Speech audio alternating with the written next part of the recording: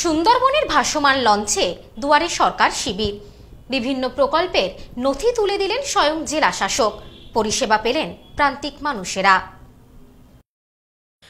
সুন্দরবনের তিন নদীর মোহনায় ভাসমান লঞ্চে দুয়ারে সরকার উপভোক্তাদের বিভিন্ন সরকারি প্রকল্পের নথি তুলে নিলেন স্বয়ং জেলা শাসক।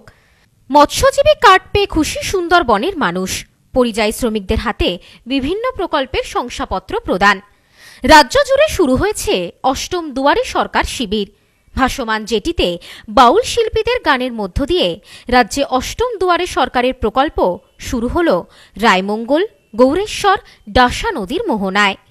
প্রকল্পের কাগজপত্র খতিয়ে দেখলেন স্বয়ং উত্তর চব্বিশ পরগনার জেলাশাসক শরৎ কুমার দ্বিবেদী।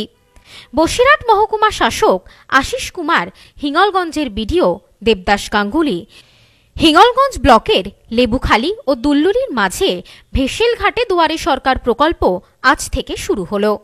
সুন্দরবনের প্রান্তিক মানুষেরা সরাসরি জেলাশাসক, বিডিও, সরকারি প্রতিনিধিদের সঙ্গে কথা বলে তাদের বিভিন্ন সুবিধা অসুবিধের কথা জানালেন।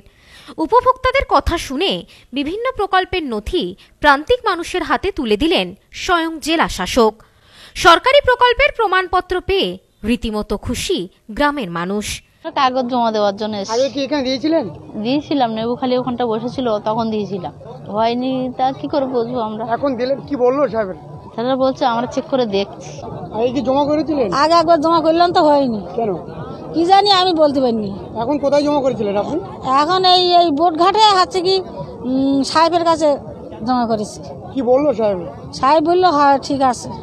এছাড়াও মৎস্যজীবিকা থেকে শুরু করে ভিন রাজ্যে কাজ করতে গিয়েছিলেন পরিযায়ী শ্রমিক। তারাও বিভিন্ন প্রকল্পের সুবিধা পেতে এদিন হাজির হয়েছিলেন দুয়ারে সরকার শিবিরে। প্রান্তিক মানুষের স্বাস্থ্য পরীক্ষাও করা হয় এই শিবিরে। এই বিষয়ে জেলাশাসক জানান। আমাদের আজকে পনেরো ডিসেম্বর থেকে দুয়ারে সরকার অষ্টম শুরু হয়েছে। প্রত্যেকটা জায়গায় হবে। আমরা আজকে হিঙ্গলগঞ্জ ব্লকে এলাম। এখানে দুলদুলি ঘাটে ব্লক প্রশাসন, গ্রাম পঞ্চায়েত তরফ থেকে তারা আয়োজন করেছে।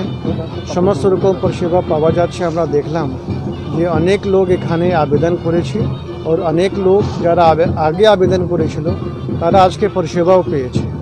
আমরা চাইছি যে এইরকম সমস্ত জায়গায়, প্রত্যন্ত এলাকায় আমরা ক্যাম্প আয়োজন করতে পারি, যাদের যেরকম পরিষেবা প্রয়োজন আছে, তারা সবাই যাতে নিতে পারে।